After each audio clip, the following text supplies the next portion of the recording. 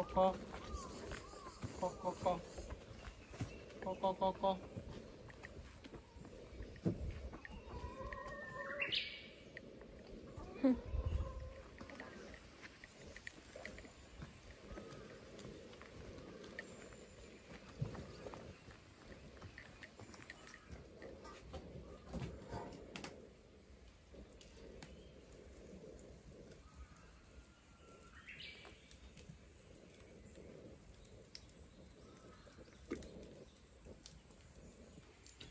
今日は新しく作ったかまどでコーヒー焙煎をしようと思います。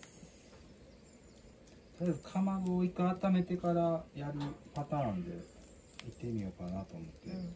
で上にうん。鉄板、上が本当は空いてるところを今は耐火レンガを乗置いて、せてるうん、この状態でかまどとしても使えへんかな。無理やったら蓋をまた土で作ってもええんやけど、うん。うん。見かけ作った方が可愛いかもしれない。あとこれが焙煎するときにかぶせる蓋を今日作りました。ですね。はい。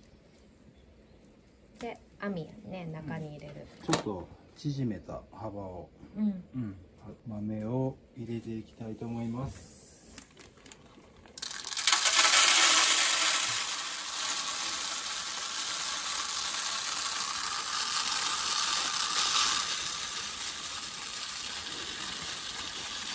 今日は実験にまあ1キロやね。1キロはい。1キロやってみます。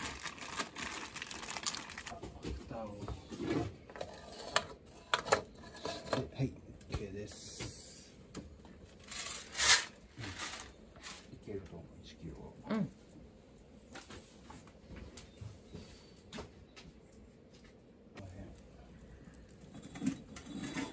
あそうそうそうはい。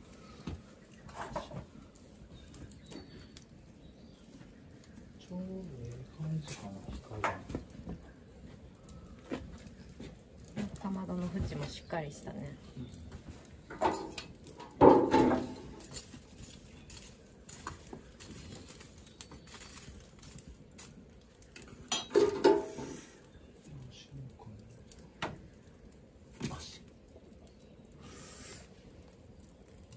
こんだけ温まってたらなんかもうええかな。いいと思うけどな出ちゃ。う？うん、これでいこうか。うんこれだけで汚いね。